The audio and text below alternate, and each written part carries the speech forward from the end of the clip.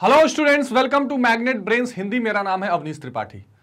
तो कक्षा 12 इतिहास का पाठ 6 यानी भक्ति सूफी परंपराएँ, विशेष करके 8वीं से 18वीं शताब्दी के मध्यकाल में, इस महत्वपूर्ण चैप्टर का सबसे पहला और इंपॉर्टेंट टॉपिक लेकर मैं आपके सामने उपस्थित हूँ, यानी धार्मिक विश्वास और आचरणों में बदलाव। यानी किस तरह इस कालखंड में पूरा विचार, धार्मिक विमर्श बदल रहा था, इस चीज़ की चर्चा हम करेंगे। बेहद इंपॉर्टेंट टॉपिक है। पर उससे पहले एक बेहद खास जानकारी ये कि मैग्नेट ब्रेन्स हिंदी एक ऐसा प्लेटफॉर्म है, जहाँ पर आप कक्षा सात से बारह तक की सारी शिक्षा बिल्कुल निशुल्क पा सकते हैं। आप किसी राज्य बोर्ड यानी बिहार, यूपी, मध्य प्रदेश बोर्ड से पढ़ रहे हो, या आप सीबीएसई बोर्ड से ही पढ़ाई कर रहे हो, आपकी सारी की सारी शिक्षा हिंदी माध्यम में बिल्कुल निशुल्क मैग्नेट ब्रेन्स हिंदी पर उपलब्ध है। यहाँ एक या दो चैप्टर या कुछ सब्जेक्ट पढ़ने के बाद आपको पेड सब्सक्रिप्शन या पैसा भर के पढ़ाई करने के लिए नहीं बोला जाएगा सारी की सारी शिक्षा यहाँ पर आपके लिए निशुल्क प्रोवाइड की जा रही है। तो मैग्नेट ब्रेन्स हिंदी के साथ जुड़े रहिए और अपनी पढ़ाई को आसान बनाइए। इसी महत्वपूर्ण जानकारी के साथ शुरू करते हैं आज का इंपॉर्टेंट टॉपिक और समझते हैं कि जिस महत्वपूर्ण कालखंड की हम चर्चा करने जा रहे हैं, उसमें धार्मिक विमर्श जो है या धार्मिक विश्वास वो कैसे बदल रहा था। अब इस पॉइंट को समझने से पहले आपको यह ज़रूर समझ लेना चाहिए कि इससे पहले हमने बेसिकली 600 ईसा पूर्व से 600 ईस्वी की बात ज़्यादातर की थी। और इसमें कुछ महत्वपूर्ण बातें हमें दिखाई पड़ी थी। एक तो सबसे पहले हमने यह समझा कि भाई पहले वैदिक काल था, फिर बाद में उत्तर वैदिक काल आया। इसमें ब्राह्मण धर्म की हमने बात की। ठीक है? यहाँ हमने फिर क्या देखे? उपनिषद। वेद तो देखे वेद, उपनिषद। ठीक, पुराण। ये सारी चीज़ें देख रहे थे। प्रमुख रूप से हमने देखा कर्मकांड, जहाँ पर यज्ञ, हवन, बलि, ये सारी चीज़ें दिखाई पड़ रही थी। और सबसे समस्यात्मक बात जो दिखाई पड़ी वो क्या? वर्ण या जाति व्यवस्था। जो कर्म आधारित होने के बाद धीरे धीरे जन्म आधारित हो गई और समाज का विभाजन होने लगा। इसके पैरल जो उठ के चीज़ें निकलने लगी, जो नया धर्म और विश्वास जन्म लेने लगा, वो क्या लेने लगा? जैन धर्म। और बौद्ध धर्म। इसकी चर्चा हमने प्रीवियस क्लासेस में डिटेल में की है। प्लीज़ अगर आपने नहीं देखा, उसको ज़रूर आप उन चैप्टर्स को देख लीजिए। ये जो जैन और बौद्ध था, इनके उद्भव से, इनके डेवलपमेंट से जो ब्राह्मण धर्म या हिंदू धर्म था, वो नीचे आता जा रहा था। उसमें कई कुरीतियाँ व्याप्त हो गई, कर्मकांड, यज्ञ और हिंसा भी आने लगी, बलि प्रथा इत्यादि आने लगी, और जाति व्यवस्था इतनी गहरी होने लगी कि लोग उससे हटके जैन और बौद्ध की तरफ़ आने लगे, जो इन सभी चीज़ों को नकारते थे, अहिंसा में विश्वास रखते थे, सब में समानता में विश्वास रखते थे, इत्यादि इत्यादि।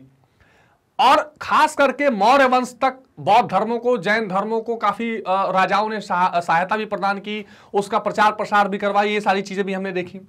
फिर हमने देखा कि जब शुंग वंश आया, गुप्त वंश आया तो धीरे धीरे फिर हिंदू धर्म का या ब्राह्मण धर्म का जो है, वो विकास धीरे धीरे होना शुरू हुआ। और जिस चैप्टर पर अब हम पहुँचे हैं, यानी आठवीं शताब्दी से, आठवीं से अठारहवीं शताब्दी तक लगभग, ठीक है? इस प्रमुख काल में आपको मुख्य रूप से क्या दिखाई पड़ेगा? एक इंपॉर्टेंट चीज़ जो दिखाई पड़ेगी, वो क्या? भक्ति और सूफी परंपरा दिखाई पड़ेगी। पर इस भक्ति और सूफी परंपरा के आने से पहले जो आपका धार्मिक विश्वास और आचरण में बदलाव हो रहा था, उसका क्या आधार रहा, इसको हम थोड़ा यहाँ समझने का प्रयास करेंगे। और वो आधार ये रहा कि धीरे धीरे क्या होने लगा? धीरे धीरे बौद्ध और जैन धर्मों का विकास पीछे जाने लगा और वैष्णव और शैव संप्रदायों का विकास ऊपर उठने लगा। इसी चीज़ की अब हम चर्चा करेंगे। तो वैष्णव धर्म या वैष्णव मत जो था, वो विशेष रूप से किसको इष्ट मानता था? तो इन्होंने इष्ट मानना शुरू किया। इष्ट यानी जिसको वो पूजा करेंगे, इन्होंने इष्ट मानना शुरू किया किसको? विष्णु को। और इनके दस अवतारों की चर्चा हुई। ठीक? और विशेष करके अलवार संतों की इसमें महत्वपूर्ण भूमिका थी। वो अलग टॉपिक में भी हम देखेंगे। ठीक है?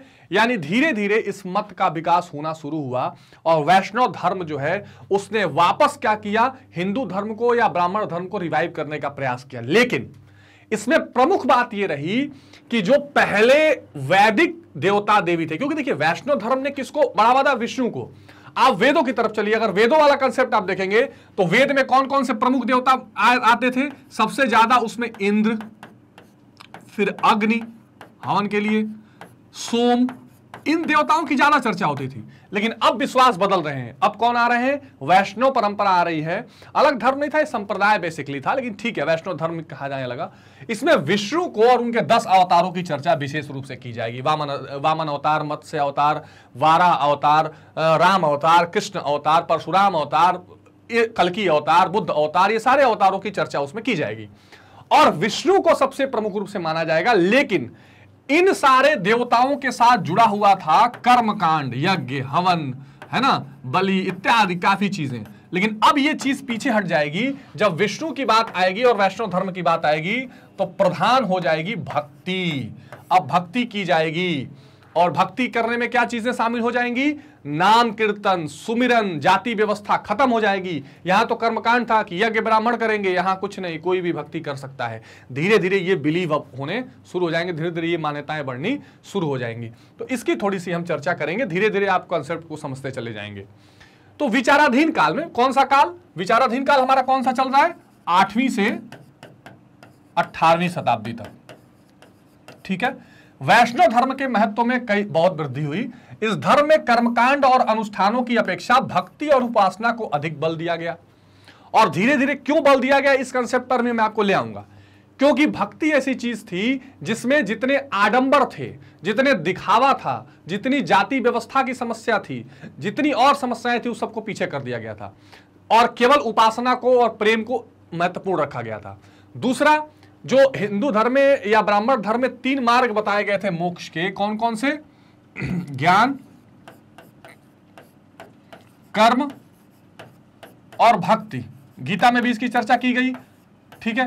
तो इसमें ज्ञान और कर्म को पीछे छोड़ दिया गया, क्योंकि यहाँ पर बहुत सारा शास्त्र की जानकारी, वेद और बहुत बड़े बड़े उपनिषदों को जानकारी, फिर कर्मकांड की जानकारी, कर्मकांड का प्रैक्टिस ये सब पीछे। भक्ति को प्रधानता दी जाए सभी संतों ने ही बताया कि भक्ति आसान है, महत्वपूर्ण है। तो वैष्णव धर्म जो है, ये एक बदलता हुआ विश्वास था, ये एक धार्मिक विश्वास और आचरण में एक चेंज आ रहा था, जिसमें विष्णु की उपासना को महत्वपूर्ण माना गया और कर्मकांड और अनुष्ठान, यानी पूजा पाठ की जगह, भक्ति और उपासना को अधिक बल दिया गया। इस काल में पुराणों और महाकाव्यों के क्षेत्रीय भाषाओं में संस्करण उपलब्ध होने लगे। ठीक बात। अब जब पहले हिंदू धर्म या ब्राह्मण धर्म का पराभव हुआ या वो नीचे जा रहा था तो उसमें हमने देखा कि बहुत सारे उपनिषद, पुराण ऐसी चीज़ें थी जो कॉमन लोग समझ ही नहीं पाते थे। उनको समझ ही नहीं आती थी। तो इस काल में क्या हुआ? आम जनता समझ सके ऐसा पुराणों का संस्करण उनकी कहानियों को आम जनसाधारण के भाषा में और नॉर्मल ग्रंथों में ले आकर रखने लगा।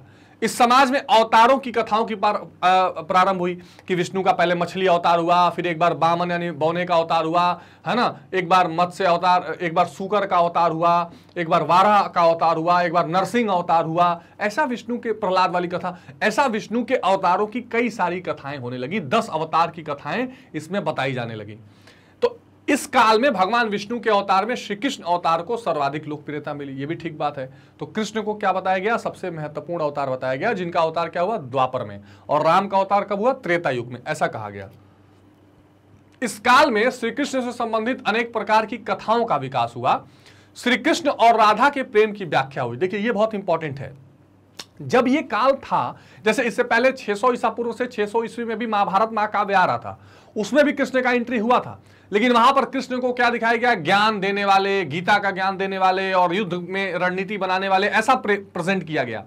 लेकिन यहाँ पर क्या हुआ? श्री कृष्ण और राधा का प्रेम दिखाया जाने लगा। यानी अब भक्ति में प्रेम की, जैसे वहाँ गीता ज्ञान की बात है, यहाँ पे प्रेम की बात, भक्ति की बात आने लगी।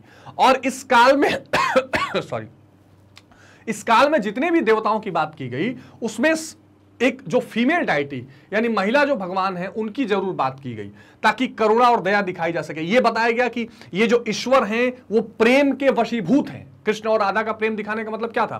कि राधा जो है, वो ईश्वर से, या राधा का जो प्रेम है, वो जीव का प्रेम हो सकता है, और वो ईश्वर को प्राप्त कर सकता है। और जैसे प्रभु या कृष्ण राधा के वश में है भक्ति के लिए जैसे आम इंसान भी भक्ति करे तो वो हमारे वश में हो सकते हैं। ऐसा दिखाया जाने लगा।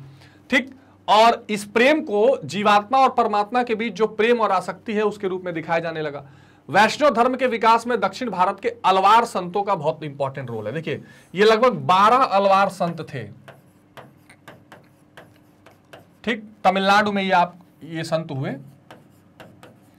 और एक, ये संत भी थे, कवि भी थे।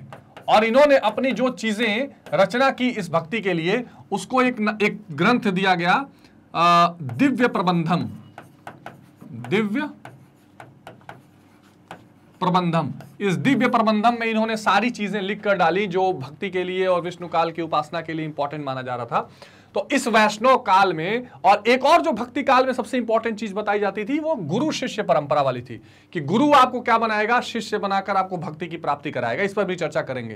तो वैष्णव धर्म के विकास में दक्षिण भारत के संतों का बहुत महत्वपूर्ण रोल रहा था। ये अब हम क्या, हम एंट्री कर रहे हैं चैप्टर में कि कैसे जो परंपराएँ पहले बनी हुई थी, वो बदलती हुई नज़र आ रही हैं और वैष्णव धर्म का विकास होगा। फिर शैव धर्म तो यहाँ पर क्या था? ये इष्ट इसमें कौन माने जा रहे थे? शिव। इसमें शिव को इष्ट माना जा रहा था, ठीक है? और आगे इसमें कुछ ऐसी भी पद्धतियाँ आई जिसमें शिवलिंग, जैसे लिंगायत और वाला जो कंसेप्ट था। तो इस काल में शैव धर्म का पर्याप्त विकास हुआ और अनेक राजा इस धर्म के अनुयायी थे। जैसे गुर्जर, प्रतिहार, चंदेल, परमार, राष्ट्रकूट, राजवंश, लगभग शासकों ने शैव धर्मानुयायी बने और शिव की वो पूजा करते थे। ठीक है? इसमें कोई दो राय नहीं है और इसमें नयनार संतों की बात आएगी। इसके अतिरिक्त पूरी, पूर्वी चालुक्य, पूर्वी गंज, कलचुरी, काकती, राजवंशों ने भी शैव धर्म अनुयायी बने और नौवीं, दसवीं शताब्दी में शैव धर्म के रूप में इसकी लोकप्रियता बढ़ती चली गई। तो हम तो आठवीं से अठारहवीं शताब्दी की बात कर ही रहे हैं। तो एक तरफ़ अभी धार्मिक परंपराएँ कैसे बदल रही हैं? जैन और बौद्ध धर्म थोड़ा नीचे आता जाएगा। उसमें कई सारे विकार उत्पन्न होने लगे। उसमें कई सारी समस्याएँ, विभाजन होने लगा वो बंटवारा होने लगा। उसमें वो कमियाँ आने लगी जो कमियाँ पहले हिंदू धर्म में आती थी। तो वो नीचे जाने लगेंगे और शैव और विष्णु ऊपर आते रहेंगे। इसीलिए हमने कहा कि कैसे धार्मिक विश्वास और आचरण में परिवर्तन हो रहा है। शैव धर्म का नया रूप कश्मीरी शैव धर्म के नाम से भी जाना गया। ये भी इंपॉर्टेंट है। कश्मीरी शैव धर्म के प्रवर्तक कौन थे? वशुगुप्त थे। और इनके अनुयायी एकेश्वरवाद में विश्वास करते तो कहते थे भाई कि जो कश्मीरी शैव परंपरा वाले जो लोग थे, वो कहते थे कि देखिए, ईश्वर केवल सर्वशक्तिमान एक ही है। जो कुछ भी है, शिव है। शिव के अलावा और कुछ नहीं है। एकेश्वरवाद का मतलब होता है जो केवल एक ईश्वर को माने, किसी दूसरे को ना माने। मोनोथेस्ट इंग्लिश में कहते हैं इसको। इस काल में दक्षिण भारत में नयनार संत, ये भी इंपॉर्टेंट है। तो जैसे ये आप ध्यान रखिएगा कि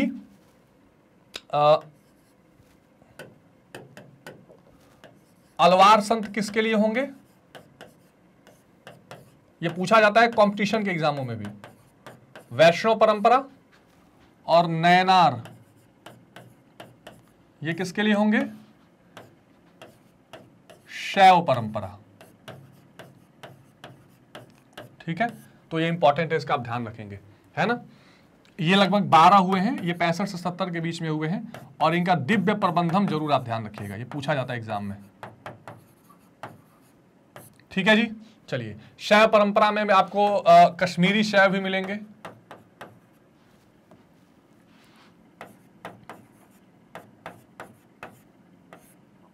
कश्मीरी शैव जो किसमें विश्वास रखते हैं? एकेश्वरवाद।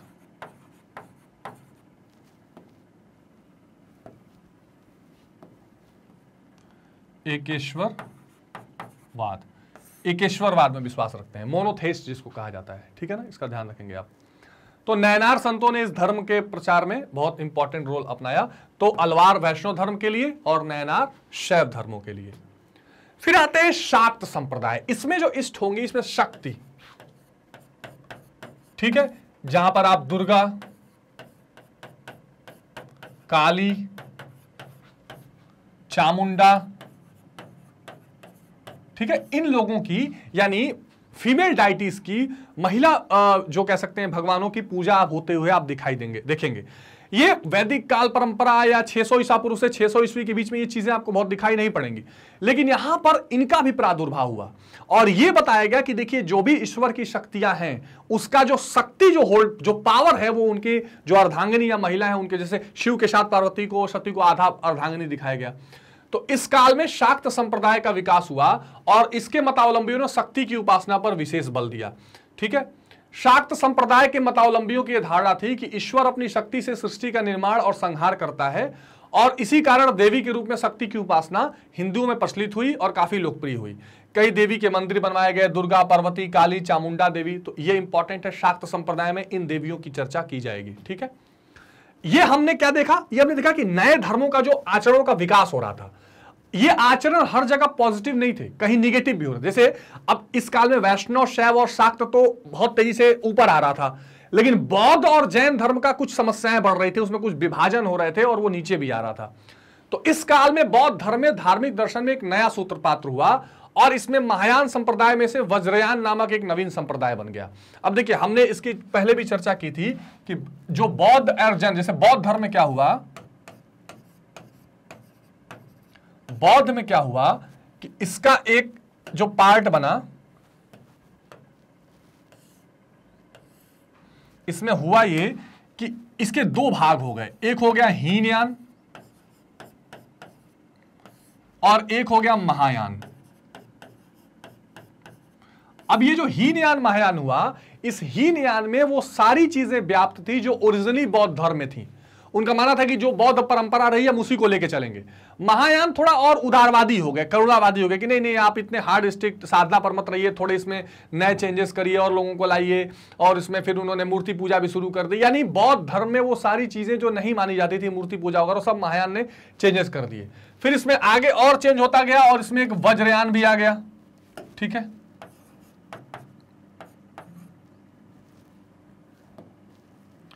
वज्रयान ठीक अब वज्रयान से क्या हुआ कि अब इस इन्होंने अलौक, इन्होंने बताया वज्रयानियों ने कि देखिए हमारे जो हमारे जो बुद्ध थे, हमारे जो इष्ट हैं, उनके पास बहुत सारी अलौकिक शक्तियाँ भी हैं, चमा, चमत्कारिक शक्तियाँ भी हैं। और हमको भी वो सिद्धियाँ लाने के लिए बहुत सारा तप यज्ञ करना चाहिए, साधना गुप्त करनी चाहिए। इसमें आगे फिर सहज यान आ गया। अब जब सहज यान आ गया तो इस सहज यान के साथ इसमें तंत्र, टोना जादू, ये सारी चीज़ें आ गई और धीरे धीरे वो सारी कमियाँ, वो आडंबर, वो वो गलत फहमियाँ, वो चीज़ें इसमें आने लगी जो बौद्ध धर्म में आनी नहीं चाहिए थी या जिसके खिलाफ बौद्ध धर्म खड़ा हुआ था। और इसलिए बौद्ध धर्म का पतन भी धीरे धीरे होता चला गया। तो ये महत्वपूर्ण बात है। ठीक है? तो इस काल में बौद्ध धर्म के महायान संप्रदाय में से वज्रयान नामक एक नया संप्रदाय खड़ा हुआ और इसके अनुसार महात्मा बुद्ध वज्र गुरु थे और उनके पास अलौकिक शक्तियाँ थी। तो वज्रयानियों ने कहा कि भाई महात्मा बुद्ध के पास बहुत अलौकिक शक्तियाँ थी और हमें वो चीज़ें लानी चाहिए। तो उनका मानना था कि अपने गुरु के समान अलौकिक सिद्धि हम लोगों को भी लानी चाहिए। तो अब जो चीज़ें हिंदू धर्म में पहले आडंबर थी, वो ये लोग अपनाने लगे। तो अब देखिए, आप देखते चलिए, कैसे कैसे वैष्णव और शैव परंपराएँ भक्ति पर बढ़ती जा रही है और कैसे ये लोग अब कर्मकांड और इस तरह के आडंबरों से नीचे आते चले जाएँगे।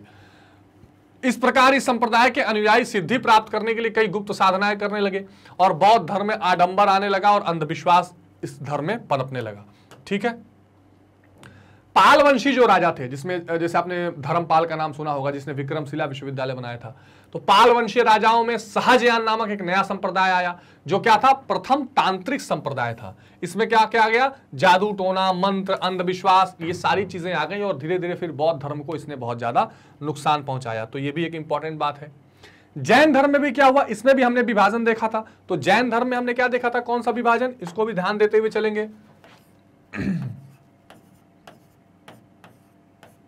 जैन धर्म। अब इसमें जो दो महत्वपूर्ण विभाजन हुए थे, उसमें एक तो हो गया था श्वेतांबर,